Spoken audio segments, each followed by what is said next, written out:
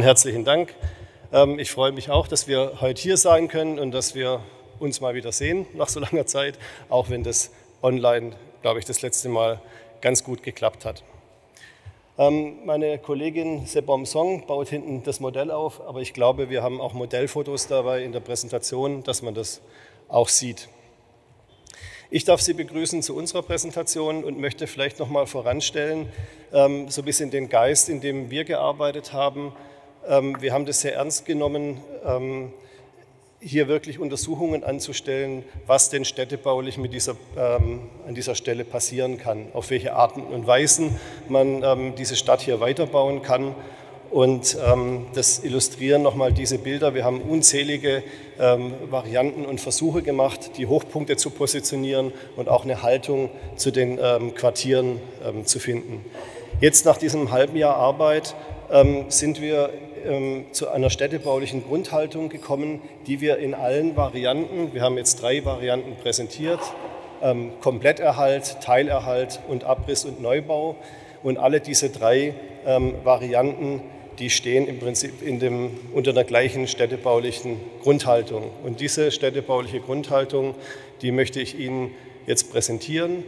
Und diese würden wir auch als Empfehlung abgeben, um im Weiteren ähm, dann zu schauen, wie man dieses äh, Grundstück städtebaulich neu ordnen kann. Für uns ist dieses ähm, Grundstück und dieses ist ja nicht ein Grundstück, es sind viele Grundstücke, dieser ganze Bereich ähm, um das Ettlinger Tor eine Insel, in der Solitäre stehen.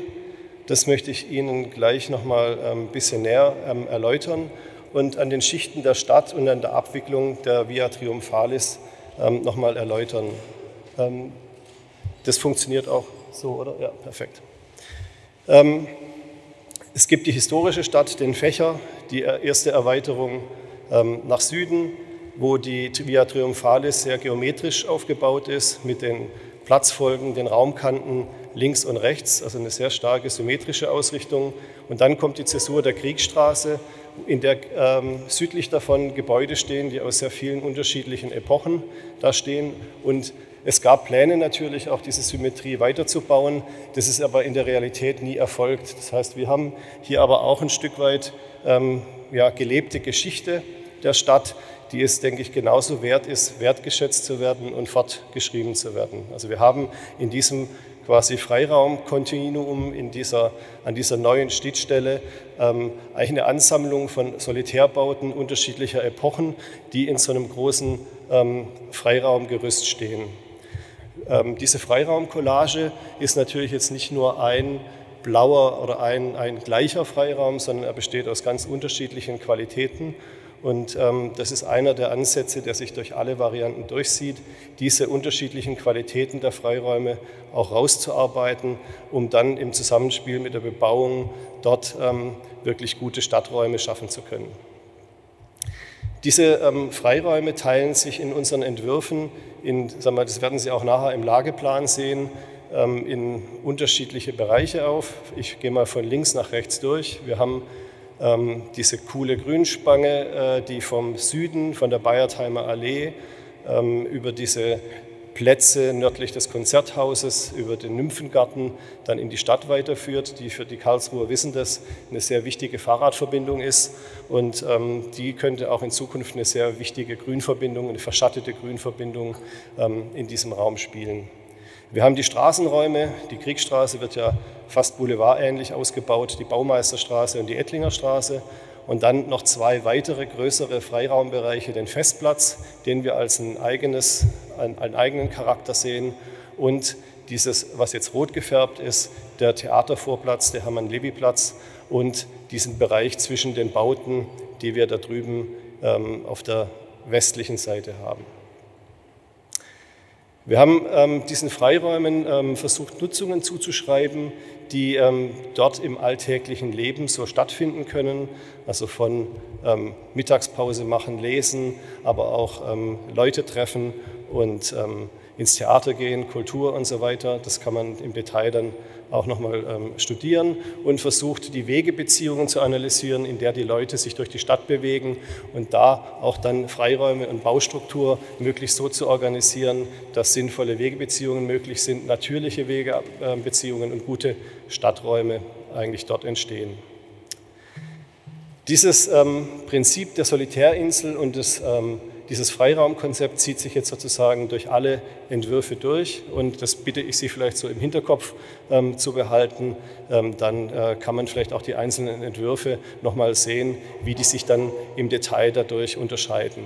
Und das war uns besonders wichtig, hier zu einer Haltung zu kommen, mit der man ähm, mit unterschiedlichen Szenarien, die ja jetzt noch nicht entschieden sind, ähm, dort eine klare Haltung bekommen kann, wie die Stadt äh, weitergebaut werden kann. Zu den Atmosphären der Freiräume habe ich jetzt hier einige Referenzen ähm, mitgebracht. Sie sehen jetzt oben links, so könnte man sich das vorstellen zwischen unseren neuen Hochhäusern, also ein sehr belebter, verschatteter Stadtraum, der viel Bewegungsfläche hat, aber auch diese grünen Inseln, diese grünen Kissen, die, wir hatten vorher das Schlagwort Oase dazwischen rein äh, geschrieben, die wie so eine ja, Oase im, im Alltagsleben auch funktionieren können. Wir haben den, den Festplatz, hier ist ein Beispiel aus Zürich. Das Winterthur ist jetzt nicht als ähm, Ortsangabe, sondern der Fotograf kommt daher zu verstehen. Äh, das ist der Theaterplatz, äh, Sechseleuteplatz in, äh, in Zürich, der auch eine ähnliche Funktion von großen Bewegungsflächen, aber auch Randbereichen hat, die ähm, beschattet sind und sehr grün sind und ähm, aus Rotterdam jetzt das Beispiel in, in, einer ähnlichen Art und Weise, wie wir uns das an dem Festplatz ähm, vorstellen können. Diese städtebauliche Grundhaltung ähm, ist in diesen allen drei Szenarien ähm, umsetzbar. Ich äh, möchte noch mal kurz diese Prinzipien ähm, noch mal kurz ähm, nahebringen. Das eine hatte ich ausführlich schon gesagt. Also es geht darum, die Via Triumphalis und diese beiden Stadtabschnitte in zwei unterschiedlichen Abschnitten zu sehen und sie dementsprechend auch auszuformulieren. Ähm, funktional und von, den, von, der Belebung her möchten wir damit auch den Sprung über die Kriegsstraße schaffen und diese, dieses Loch, was es heute in der Stadt gibt, zu schließen. Wir verstehen dieses Plangebiet eben als diese Solitärinsel aus einer Freiraumcollage und ähm, in allen Entwürfen ähm, sind es drei äh, Gebäudekonglomerate, drei Gebäudekomplexe, die auf diesem Grundstücksteil des heutigen Landratsamtes ähm, dann stehen. Die Hochpunkte, die wir dort vorgesehen haben, bleiben in dem Karlsruher Maßstab und Kubatur und sind alle von der Ettlinger Straße ein Stück weit zurückversetzt. Das werden wir nachher in den Fußgängerperspektiven auch noch mal sehen, ähm, welchen Grund ähm, das hat. Ähm, Dachgärten und Stadtbalkone ergänzen die Freiräume auf, einer höheren, also auf einem höheren Level, sodass dort auch nochmal neue Freiraumqualitäten auf den Dächern dazukommen können. Und so entsteht eigentlich im Herzen der Stadt ähm, lebendige Stadtbausteine. Wir haben auch das Grundstück des Postcheckamts äh, untersucht und äh, sind zu dem Schluss gekommen, dass wir nördlich dieser Zäsur keine neuen Hochpunkte vorschlagen würden, sondern die südlich der Kriegsstraße ähm, vorsehen. Ähm, zumal man, auch wenn man jetzt heute neue Hochhäuser baut in so einer Stadt, wir denken, dass ähm, solche Gebäude, die in so einem zentralen Punkt stehen, auch Ausdruck der Zivilgesellschaft sein sollten und eben solchen Funktionen wie Landratsamt, öffentlichen ähm, Gebäuden vorbehalten bleiben sollen. Ich möchte Ihnen jetzt kurz diese drei Szenarien unten vorstellen, die alle, wie gesagt, auf diesen Prinzipien aufbauen. Das erste ist Abriss-Neubau, das zweite Kompletterhalt des Landratsamtensembles und der dritte Vorschlag ist der Teilerhalt. Zum Neubau.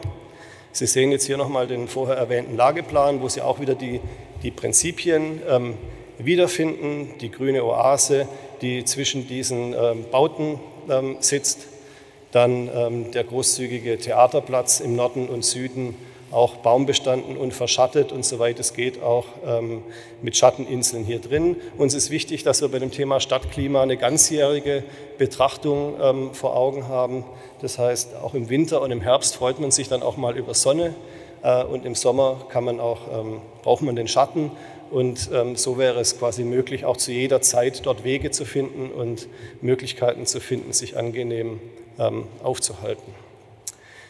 Die Entwicklungsschritte sehen so aus, dass äh, in dem ersten Schritt hier äh, Casino und Tiefgarage des ehemaligen Badenwerks zurückgebaut werden. Dann entsteht der neue Turm des Landratsamtes, das wir in diesem Szenario an diesem Ort ähm, belassen. In dem ersten Bauabschnitt werden dort 19.000 Quadratmeter BGF realisiert und äh, nach Fertigstellung des Hochhauses kann direkt umgezogen werden und in der Folge dann die restlichen ähm, Stadtbausteine entstehen. Das sieht so vor, ähm, dass wir eben drei, diese drei unterschiedlichen Hochpunkte haben. Alle Hochpunkte sind ähm, städtebaulich, architektonisch nach einem anderen Prinzip ähm, aufgebaut, in der Höhenstaffelung unterschiedlich. Sie sehen jetzt hier das Landratsamt, das eine sehr gute Adresse an der Kriegsstraße bekommt, sich, sich dort sehr gut präsentieren kann und auf der anderen Seite auch einen zweiten Eingang hat, der zum Theaterplatz hin zeigt.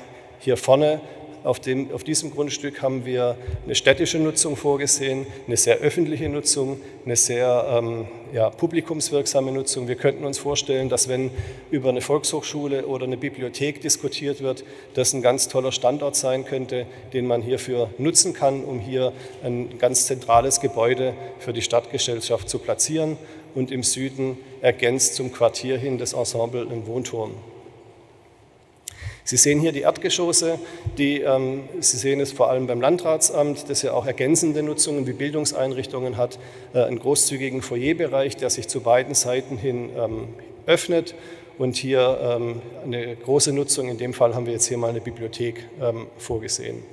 Nach oben hin ähm, orientieren sich dann im Wohngebäude natürlich die Wohnungen und in anderen beiden äh, Regelgeschossen dann die Büronutzungen. Nutzungsmäßig ähm, kann man sich das so vorstellen, das Landratsamt mit seinen Kernnutzungen plus den ergänzenden Funktionen auf der rechten Seite die städtische Verwaltungsnutzung, die in einem aufgesetzten Kubus auf diesem Sockel steht, in dem jetzt äh, hier eine sehr große Fläche mit 15.000 Quadratmetern beispielsweise für eine Bibliothek vorgesehen sind und der Wohnturm ähm, auch nochmal mit knapp 8.000 Quadratmetern. Über die Zahlen brauche ich jetzt hier, glaube ich, nicht viel zu verlieren. Das kennen Sie alles in den Unterlagen. In den Schnitten sieht man jetzt nochmal die Höhenabwicklung. Das deutlich äh, prägnanteste Gebäude ist das neue Landratsamt, das sich sehr gut zur Kriegsstraße ähm, positioniert und ähm, auf dieser Seite stehen muss, wenn man auf diesem Grundstück bleiben möchte, weil hier auf dieser Seite der alte Turm steht. Das heißt, wenn man hier bauen muss, da möchte, dann kann das nur auf dieser Seite passieren. Und auf dem rechten Grundstück jetzt hier die Bibliothek mit dem aufgesetzten ähm, städtischen Restaurant, das jetzt so knapp unter der 60 Meter Grenze bleibt. Im Modell ähm, sieht es so aus, dass man ähm, hier vorne, betone ich nochmal auf den man wird das gleich in den anderen Perspektiven nochmal sehen, dass wir zurückbleiben von der Ettlinger Straße und ähm, hier in der Höhenabwicklung einfach nochmal drei unterschiedliche ähm, Hochpunkte hat. Das ist die Perspektive, wenn man von der Kriegsstraße Richtung Westen schaut. Hier sieht man nochmal vielleicht im Erdgeschoss zu sehen die besondere ja, Abwicklung, auch Vor- und Rücksprünge an der, an der äh, Kriegsstraße, die so ein lebendiges Gegenüber zu der etwas monotonen Fassade des Shoppingcenters dann bietet. Sie sehen auch vielleicht ganz leicht, dass dieser Kubus hier oben, das wird man vielleicht auch noch später in der Perspektive sehen, dieser Kubus ähm, sich abheben kann. Also er ist jetzt nicht einfach nur die Fassade hochgezogen, sondern das könnte quasi wie ein Gebäude auf dem Gebäude darstellen. Hier sehen Sie die Adressierung des Landratsamtes und die Positionierung zur Kriegsstraße und die grüne Spange, die vom Konzerthaus ähm, dann zum Nymphengarten hochführt. Das sehen wir gleich auch noch in der Fußgängerperspektive. Und hier von Südwesten geschaut auch nochmal die Höhenabwicklung von diesen drei ähm, Punkten und ähm, auch ein Einblick dann in die Innenbereiche dieses Ensembles. In der Fußgängerperspektive äh, vom Hermann-Levi-Platz aus äh, ist es jetzt so zu sehen. Wir haben jetzt bewusst hier ein paar Bäume vorenthalten, damit man nochmal besser auf das, auf das Gebäude sehen kann. Und hier sehen Sie auch nochmal die, ähm, die Idee dahinter. Man könnte hier unten auch ähm, architektonischen Zeichen setzen mit so einer Bibliothek oder mit einem öffentlichen Gebäude und dann wie in einem zweiten Baustein quasi erkennbar noch was oben drauf zu setzen. Das bitte ich bewusst jetzt nicht als Architektur zu verstehen, sondern als eine als eine Vorstellung, wie man ähm, typologisch mit so einem Bauwerk ähm, hier vorne umgehen kann. Sie sehen das Landratsamt hier hinten, den Durchgang und auch den zweiten Eingang zum Landratsamt. Und hier die Perspektive nochmal vom Nymphengarten auf der Kriegsstraße Richtung Osten geschaut. Auch die Adressierung des Landratsamtes hier vorne und die Grünspange, die hier vom Süden Richtung Nymphengarten dann führt. Ähm, die Erdgeschosse sind allesamt so organisiert, dass dort möglichst publikumswirksame und öffentliche Nutzungen stattfinden, sodass auch eine Belebung der Kriegsstraße erfolgen kann und man auch sieht, was in den Gebäuden ähm, dann stattfindet und so die Kriegsstraße auch zu einer guten Adresse werden kann. Ähm, diese Perspektiven äh, möchte ich vor allem Ihnen nochmal Augen, das Augenmerk auf diese Perspektive hier, äh, wo ich meine Maus gerade bewege, ähm, zu richten. Das ist die Perspektive aus der Ettlinger Straße, wenn man Richtung Schloss schaut. Und ähm, hier haben wir in sehr vielen Varianten versucht, ähm, diesen Turm, der hier vorne steht, ähm, auch noch weiter an die, an die Ettlinger Straße hin zu platzieren. Haben, wir haben jetzt hier die Bäume bewusst weggelassen. Das war ja auch ein, ein, Kritikpunkt, dass der Freiraum hier so auf das Ettlinger Tor schießt. Wenn aber die Kriegsstraße umgebaut ist und man den alten Baumbestand hier dazufügt, dann sieht man eigentlich fast nie die Fassade des Shoppingcenters, sondern man sieht dann im Prinzip die äh, grüne Allee der neuen Kriegsstraße.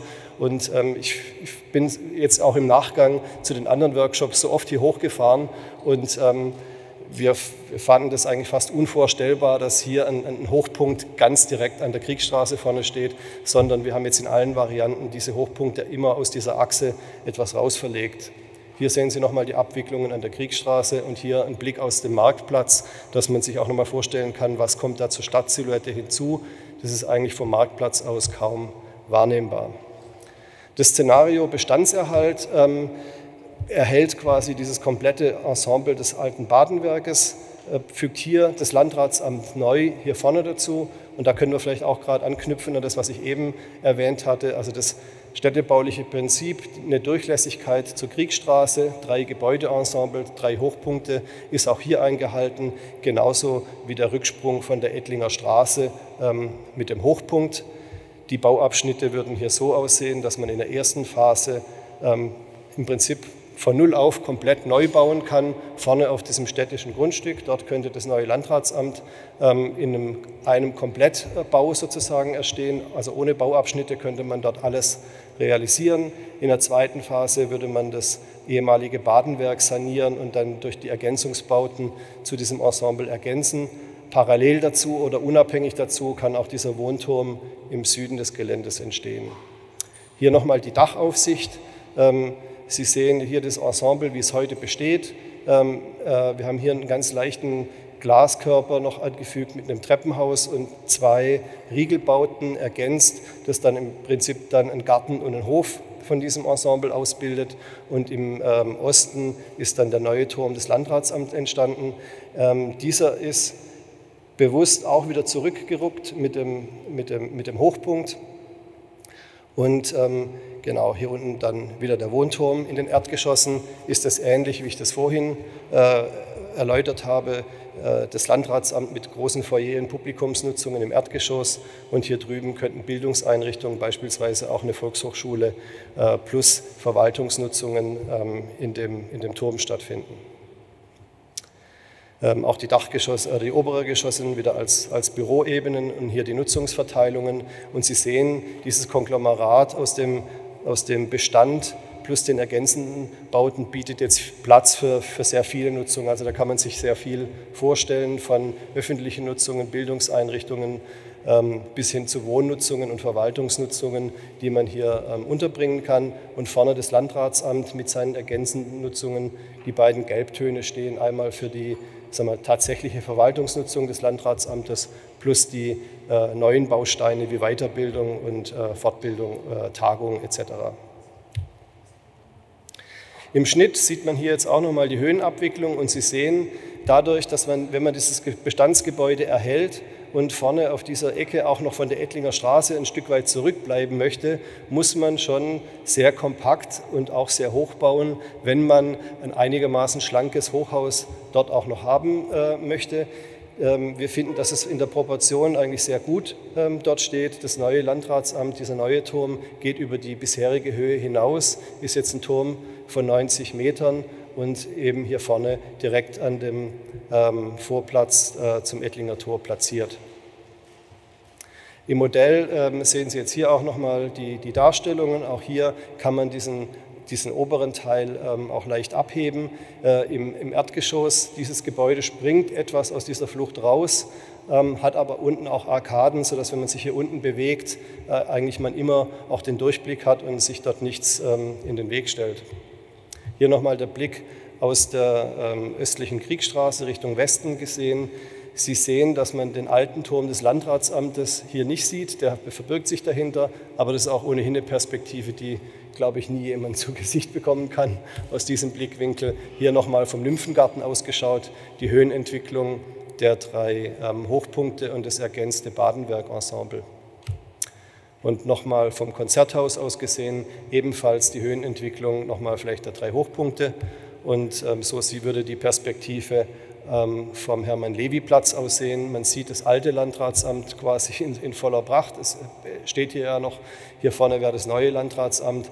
Und man könnten, wir könnten uns hier durch diesen Vorsprung auch so einen Stadtbalkon vorstellen, der auch dann für wir, Publikumsanlässe sicherlich ein, ein ganz toller Platz ist äh, für so eine Verwaltung wie das Landratsamt hier oben, dann auch wie so eine ja, Stadtterrasse, ein Stadtbalkon ähm, auszubilden, der auch begrünt sein kann.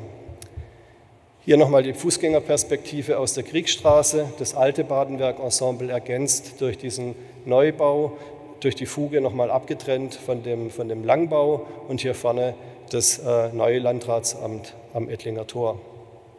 Auch hier wieder möchte ich hauptsächlich den Blick auf diese Perspektive lenken, der Blick aus der Ettlinger Straße Richtung Schloss.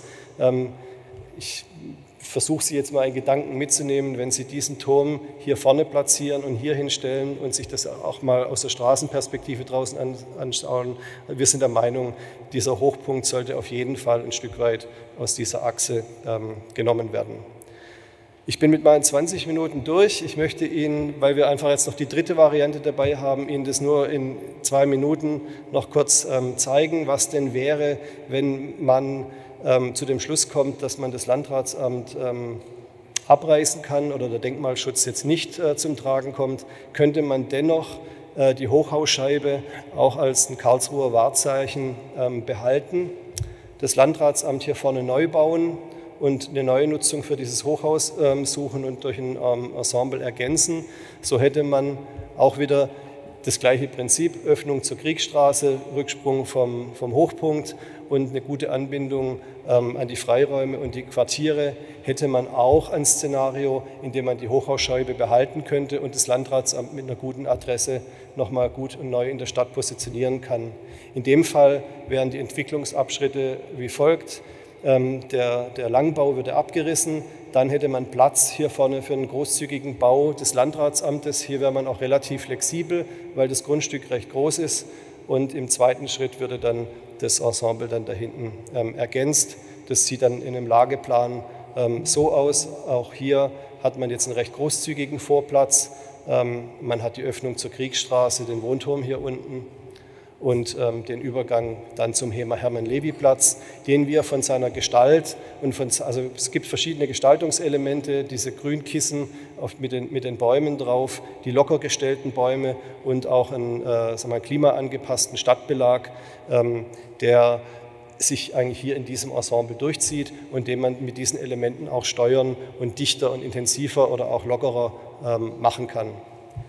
Im Schnitt sieht diese Variante so aus. Hier ist dieser Hochpunkt des neuen Landratsamtes um 90 Grad gedreht und ergibt sich dann eigentlich mit dem bestehenden Turm, gibt es ein Ensemble aus zwei Türmen, die in jeweils unterschiedliche Richtungen schauen. Das sehen Sie jetzt hier auch nochmal ähm, im Modell aus unterschiedlichen ähm, Perspektiven.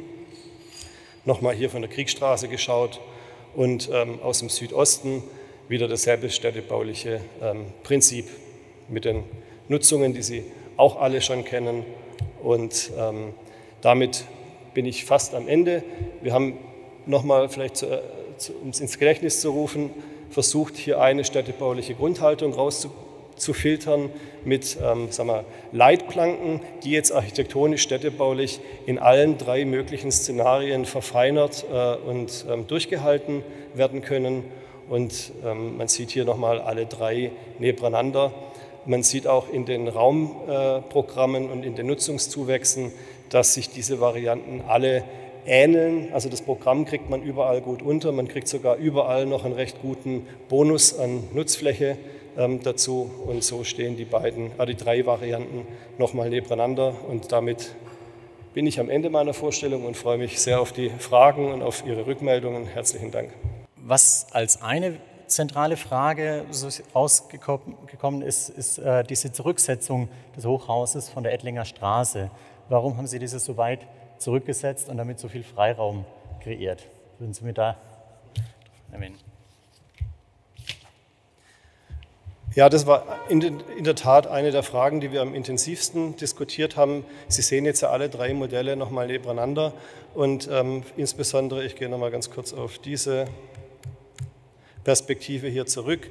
Wenn man vom Süden auf dieser wichtigen Stadtachse Richtung Schloss schaut, fanden wir, es wäre wahnsinnig dominant, wenn, wenn dort genau in dieser Achse ganz nah an diesem auch Blick zum Schloss und man sieht jetzt auch hier die Symmetrien dann in der alten Stadt, also das Ettlinger Tor kann man kann man ähm, sehen, also Sie sehen es jetzt nicht, aber man, man kann die Symmetrie dann sehen von der alten Stadt nördlich der Kriegsstraße. Man sieht nämlich links das Ettlinger Tor und auf der rechten Seite das Postcheckamt, die dann den Eingang zur, zur inneren Stadt bilden. Und wenn dort, dort vorne ganz nah an der, an, der, an der Straße so ein Hochhaus steht, dann würde das diesen Eindruck natürlich auch etwas trüben. Das andere hat für uns mit Orientierung zu tun. Wir haben jetzt ja die U-Strap und wenn ich mir vorstelle, ich bin neu in der Stadt, ich komme da an und ich steige am Ettlinger Tor aus und komme hoch, dann ist, glaube ich, auch eine gewisse Weite und eine gewisse Orientierung, wo bin ich, wie wirken die Hochhäuser, glaube ich, ganz angenehm. Und das war auch mit ein Grund zu sagen, so ein Hochpunkt, wenn der da steht, der braucht auch einen gewissen Vorraum zur Orientierung. Und auch wenn man vom Hermann-Levi-Platz rüberschaut, könnte dies, dies, diese Vorzone nochmal ganz angenehm sein, dass es nicht so ganz press an der Straße da dran steht. Das waren somit die Hauptgründe, warum wir das ähm, so gemacht haben. Ja, neben äh, positiven Kommentaren waren auch eher kritische Einordnungen, ähm, eine sehr blockige Bebauung beispielsweise ähm, oder eben auch eine interessantere Darstellung der Hochpunkte, der Hochhäuser. Ähm, aber wenn wir jetzt gerade, was Sie ausgeführt haben, nochmal über die Ettlinger Tor, äh, über die Ettlinger Straße drüber springen in Richtung Hermann-Levi-Platz, wurde nochmal äh, ja, sich erkundigt, inwieweit dieser große zusammenhängende Platz auch eine eigene Qualität entwickeln kann. Also welche Nutzung stellen Sie sich da vor? Äh, wie kann der dann auch städtisch genutzt werden? Der Hermann-Levi-Platz ist ja Gegenstand eines Wettbewerbes, der demnächst ähm, durchgeführt wird. Und ähm, es wurde im Verfahren zu Recht darauf hingewiesen, dass man diesen Platz jetzt mal mitdenken soll mit den Vorschlägen, die wir jetzt hier auf dieser Seite erarbeiten.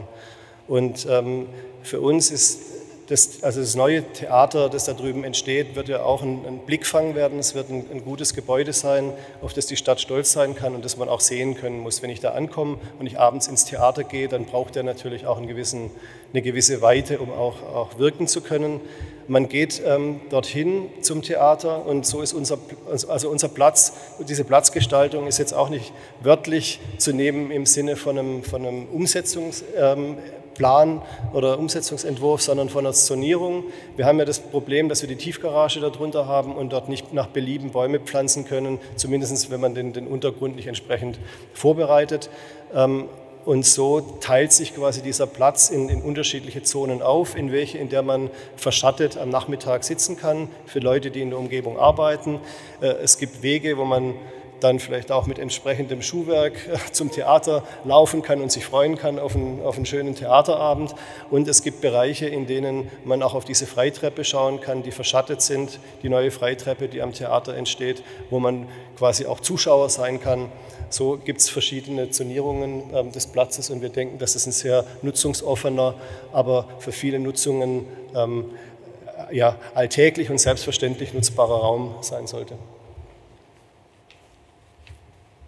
Ja, dann äh, springen wir gerade nochmal nach Norden ähm, von den vier Ecken, die am Ettlinger Tor aufeinandertreffen, ähm, in Richtung des Postcheckamtes. Ähm, es wurde ähm, angemerkt, dass Ihr Entwurf zu wenig äh, als das Gesamtareal im Blick hat, äh, also auch die anderen Ecken und äh, wie Sie sich auch die, die Entwicklung beim Postcheckamt vorstellen.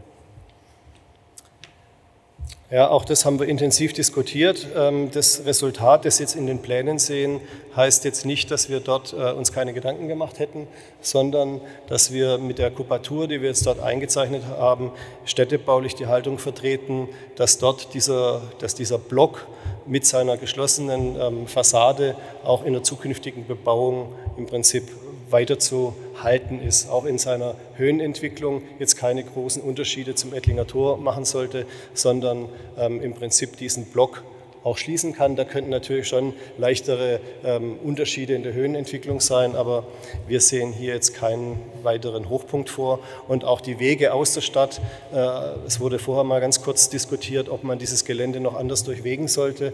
Wir haben ähm, links und rechts dieses Blockes wichtige Wege, die in die Stadt führen insbesondere die Via Triumphalis. Und ich glaube, der sollten wir durch zusätzliche Durchwegungen ähm, nicht die Butter vom Brot nehmen. Ja. Vielen Dank, Herr Krass, für die Präsentation und für die Antworten auf die Fragen.